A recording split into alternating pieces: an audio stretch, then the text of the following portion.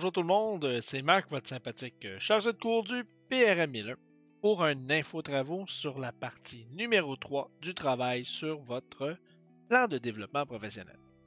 Alors ce travail s'inscrit dans euh, la suite des choses de la partie 1 et de la partie 2 que vous devriez déjà avoir complété. Donc, petit rappel, dans la partie 1, il vous était demandé de euh, faire un recensement des acquis et des compétences que vous avez développées dans des activités professionnelles, personnelles ou des activités de formation, euh, comme des formations que vous auriez reçues avant.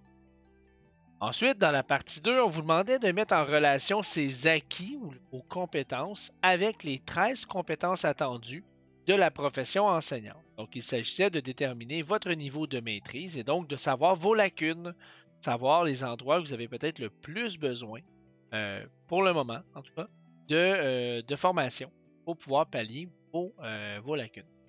Donc la partie 3, il s'agit de culminer vers votre plan de formation. on vous demande de réfléchir à six sessions universitaires. Et si on peut peut-être y aller ensemble, on va aller regarder sur Moodle des consignes et peut-être le déroulement. Je vais vous proposer peut-être une petite façon de faire. Donc c'est parti. Donc sur Moodle, tout d'abord, pour retrouver les consignes, on s'en va dans Liste des travaux. On trouve la section sur le plan de développement professionnel et évidemment, on a ici Consignes. On peut aller regarder. Maintenant, dans la partie sur les consignes, on va aller retrouver évidemment la troisième section, donc bon cheminement de formation au baccalauréat en formation professionnelle technique. Et on a des consignes ici, et attention, il y en a un tout petit peu sur l'autre page. Donc, il y a plusieurs choses à regarder. Tout d'abord, ben, il faudra remplir la section générale. Ça, il n'y a pas de souci. C'est des informations très faciles à aller trouver. C'est votre nom, votre bac, euh, etc. Vous devez planifier six sessions universitaires. Et ça inclut les sessions d'été et ça inclut les sessions où vous ne comptez pas prendre de cours. Donc, si par exemple les étés, vous avez envie de ne pas prendre de cours, d'être en vacances, mais ben, vous n'en inscrivez pas, mais vous écrivez aucun cours. Vous ne devriez pas avoir plus de une, maximum deux sessions sans prendre de cours, sinon euh, vous courez des ennuis. Ensuite, lors de votre planification, vous devez tenir des éléments suivants. La première chose à tenir compte, c'est la disponibilité des cours. Et ça, je vous ai mis un petit lien ici, là, vous pouvez cliquer dessus. Ça va vous amener dans votre, euh, dans votre bac. Donc, vous pouvez choisir votre concentration, soit collégiale ou professionnelle. Et en descendant, vous avez la liste de tous les cours que vous pouvez prendre. Donc, si mettons le cours qui m'intéresse à planifier, c'est le 15-21 et que je vais regarder ici, il ne se donne pas à l'été. Donc, évidemment, c'est impensable de le mettre dans ma planification dans une session d'été. Donc, assurez-vous de, si vous choisissez, de mettre une session hiver ou une session automne. En général, c'est assez fiable. Année après année, les mêmes sessions reviennent. Ça peut varier un tout petit peu, mais pour le bien de l'exercice, je vous invite à vous fier à ce que vous retrouvez ici. Continuons maintenant les autres choses. Vous devez tenir compte de votre renouvellement. Je ne vais pas aller dans le détail. Si vous, avez, faites une recherche sur Google pour règlement sur les autorisations provisoires d'enseigner, un bien long mot, faites attention, le site du ministère n'est pas à jour, mais dans la loi, vous allez voir que, par exemple, une fois que vous avez votre premier renouvellement, il va être valide pour trois années et qu'à la fin de ces trois années, vous devez avoir accumulé 15 unités universitaires. C'est-à-dire que dans votre planification, vous devez vous assurer, si vous êtes en formation professionnelle, d'avoir au moins 15 unités de formation universitaire, ça c'est 5 cours, à la fin de votre troisième année de bac. Je ne sais pas si je suis clair, mais c'est quand même très important si vous êtes déjà en enseignement et que vous avez déjà une autorisation provisoire, ben vous savez probablement, si vous avez déjà renouvelé celle-là, ben, vous en avez deux autres là, que vous pouvez renouveler, soit à 39 unités, 39 crédits si vous préférez, euh, après 5 ans, ou 63 crédits après 7 ans. Donc, ça vous va pour ça? On retourne aux consignes. On dit votre plan de développement professionnel tel que vous l'avez établi dans le travail numéro 3. Donc, votre plan de développement que vous avez déjà fait en amont, euh, vous rappelez la partie 2, ben, vous devez en tenir compte. Vous devez tenir compte de, des cours que vous aviez déjà argumentés, que vous souhaitiez faire à court, à moyen et à long terme. On dit ensuite inscrire dans la section dates importantes de chaque session les dates importantes qui lui sont associées. Et là, il y a des choses qui sont importantes. Vous avez vu avec Daniel que les stages, vous devez faire des intentions de stage une session avant la date à laquelle vous souhaitez un stage. Donc, je devrais voir dans vos dates importantes la session précède votre stage que euh, vous avez une intention de stage à faire là. Pareillement, vous devez vous marquer à quelle session, par exemple, vous allez faire votre TechFé. C'est aussi un préalable pour euh, des stages. Et la session à laquelle vous devrez renouveler votre autorisation temporaire. Donc, si vous n'en avez pas actuellement, ben, c'est la troisième année. La première session qui va suivre votre autorisation, ça va être à la troisième année. Euh, et si vous en avez une actuellement, ben, peut-être de la, euh, de, la, de la cocher, de la mettre. Je ne sais pas si je suis clair. Il y a une dernière chose que vous devez tenir en compte, j'ai gardé ça un peu pour la fin, c'est les préalables. Donc, il y a des cours qui sont prérequis et euh, en même temps, ben, je vais vous montrer comment je fonctionne. Donc, moi, je parle de l'itinéraire de formation. L'itinéraire, si vous ne savez pas où trouver votre itinéraire, que ce soit le 74-14 ou le 74-15, vous le retrouverez dans Moodle, dans le cours numéro 2. Le rappelez-vous, là, c'est le cours que nous avions eu avec Laurence, notre agente de gestion des études. Et vous allez retrouver sous la conférence de, de Laurence itinéraire 74-14 et itinéraire 74-15. Ce qui est bien extraordinaire de ces deux documents-là, c'est que c'est facile d'aller trouver. Oh, je ne suis pas à la bonne place ici. C'est d'aller trouver quels sont mes cours obligatoires que j'ai à faire et de facilement identifier les cours préalables au stage. Donc, les petits carrés et les petits cercles. La différence, si vous n'êtes pas en enseignement à l'heure actuelle ou que vous n'aurez pas fait 3000 heures d'enseignement avant votre stage, vous devriez prendre les cours avec des carrés, car ceux-ci sont préalables à votre stage. Donc, vous ne pouvez pas faire le stage 3001 qui est ici. Vous n'avez pas le droit de le faire tant que les petits carrés ne sont pas faits si vous n'enseignez pas et que vous êtes au secteur professionnel en FP. Si vous enseignez déjà, ben, c'est les petits cercles que vous devez focuser dessus et qui doivent être préalables. Si on regarde du côté du collégial maintenant, c'est sensiblement la même chose. Vous avez peut-être un petit peu moins de préalables, mais c'est identique. Votre stage s'appelle le 3011 et vous avez tous ces cours qui sont préalables si vous n'enseignez pas et tous ces cours qui sont préalables si vous enseignez. Ça va jusqu'à maintenant? Parfait.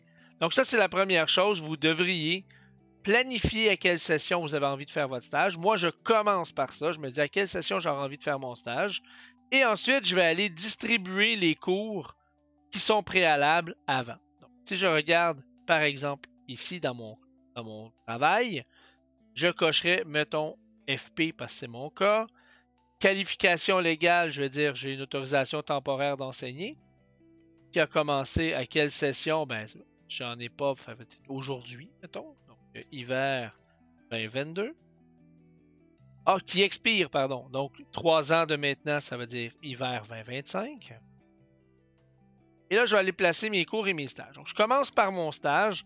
Moi, je vais assumer que mon stage, euh, j'aimerais bien faire euh, à la dernière de mes sessions ici. Je vais mettre PRM 3001. Et là, ça vient un peu me dire qu'est-ce que je dois faire avant. Donc, ici, si je regarde avec ce que j'ai à faire, j'ai le PRM 1001, ça, ça va, il est dans ma session d'hiver. Ensuite, quel autre que j'ai à faire? J'ai à faire processus des savoirs. Donc là, je peux aller regarder la définition de ça. Le plus simple, c'est vraiment de googler ce cours-là. Je vais regarder. Processus des savoirs. Je lis la description, ça m'intéresse. Je regarde mes acquis. C'est pas quelque chose que j'ai déjà acquis, donc je devrais le faire rapidement. Et là, je peux aller regarder, il se donne à quelle session. Donc, si je m'en vais ici, je cherche dans la liste euh, le FPT 1521. Il est là. Il se donne à l'hiver et à l'automne. Donc, je ne peux pas le prendre ici. On est en été. Donc, je vais le prendre à l'automne. Donc, je vais le mettre ici. FPT 15-21. Euh, c'est fait.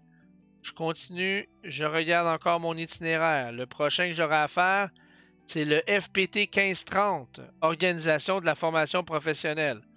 Donc, encore une fois, j'irai regarder sa définition. Ensuite, je vais voir c'est quoi, quand est-ce qu'il se donne, pardon? Hiver et automne. I. Donc, je peux le donner, je peux le mettre ici, peut-être. FPT 1530. Oups. Et par l'avoir. Je continue. Le 25-40, études euh, des, programmes d'études. 25-40, encore une fois, si je regarde sa définition, ça me convient, j'ai envie de le faire. Plus ou moins tôt. 25-40, il se donne. Oh, lui, il se donne l'été. Fait lui, c'est quelque chose que je pourrais faire tout de suite. FPT 25-40 et le mettre là, parce qu'il s'en donne pas beaucoup des cours l'été. Je continue. Le 35-10, c'est de la didactique. J'ai peut-être mis ça très élevé. C'est souvent un cours qu'on a envie de faire rapidement parce que ça nous enseigne comment faire euh, des activités d'apprentissage. Je regarde la définition. Elle me convient. J'en ai besoin. Je m'en vais dans mes obligatoires. Il se donne à l'hiver et à l'été et à l'automne. Donc, euh, ici, on est en hiver, été, automne, hiver, été, Oups! Peut-être que là, je ne peux pas. Faut que je le fasse avant. J'aurais pas le choix de doubler un cours. Donc, je vais peut-être dire, bon, hiver, été, automne. Donc, je vais peut-être le mettre ici. Je vais le mettre euh, FPT 3510. Et j'ai pas le choix parce qu'il ne se donnera pas dans une autre session. Je pourrais le donner je pourrais le prendre en automne ou je pourrais le prendre en, en automne ou en hiver, mais je suis obligé de le prendre dans une de ces deux sessions-là. OK vais retourner ici. Ben, le FPE 2560, c'est mon dernier avec le 1011 aussi, là, que j'ai oublié en haut. Le 2560, allons voir. Hop, l'air euh, ici. Donc, j'irai voir ma définition de qu'est-ce que c'est. Je m'en vais ici, 2560, 2560. Il se donne l'été. Excellent, j'en ai pas beaucoup l'été, donc je vais aller le mettre ici.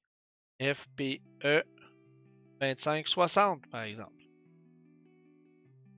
Ce sont mes cours obligatoires. Il me reste le PRM 1011, 11, 11, 11. Il se donne à toutes les sessions. Excellent. Je vais peut-être me le mettre ici. Plus rapidement débarrasser, mieux ce sera. Donc, parfait. Donc, ça, ce sont tous mes cours obligatoires. Moi, j'aime bien les mettre en rouge. C'est des cours qui sont importants. Si j'ai à m'emmener une session, un choix entre quel cours j'annule, ben, j'annulerai pas les rouges, sont préalables.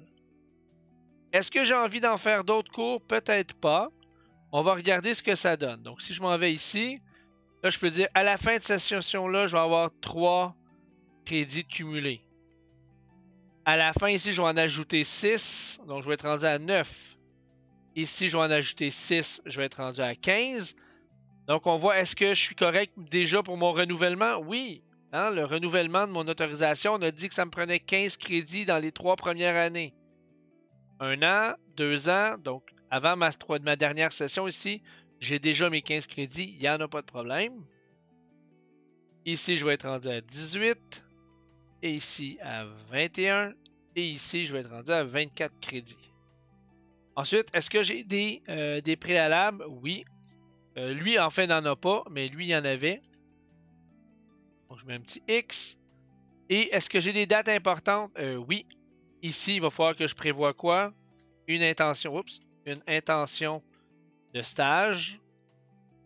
Puis, il faudrait que je prévoie mon tech fait. Oups. Et peut-être que mon tech fait, pour me donner une chance, parce que des fois, il y a des échecs, je vais essayer de le mettre une session avant. Je pense que ça serait important la date à laquelle je vais faire mon tech fee, date à laquelle je vais faire mon intention de stage. Maintenant, est-ce qu'il y a autre chose si je retourne dans euh, nos consignes? Je reviens à nos consignes. La disponibilité, je l'ai respectée. Les préalables, je les ai respectés. Le renouvellement de mes 15 crédits que j'ai besoin de faire, c'est bon, je l'ai fait. Votre plan de développement, donc là, évidemment, vous ne m'avez pas vu le faire parce que j'en ai pas. Mais normalement, j'aurais regardé les cours en priorité que j'ai identifiés dans mon travail partie 2. Hein, je serais allé regarder vraiment les cours que j'avais identifiés à court, moyen et long terme, hein, dans 6 mois, 12 mois et plus. C'est bon? La date à laquelle vous souhaitez faire mon intention de stage, c'est fait. La date à laquelle je souhaite faire mon TechFi, je l'ai écrit. La session durant laquelle vous devez renouveler. Ah, ça, je ne l'ai pas mis, par exemple. Je m'en vais ici. J'ai déjà assez de crédit. C'est hiver 2025. Bon. C'est pas, pas dramatique, là, hiver 2025. Là, si on met les codes de session, ici, on est hiver 22. Ici, on va être au été 22. Ici, on s'en va avec euh, automne 22.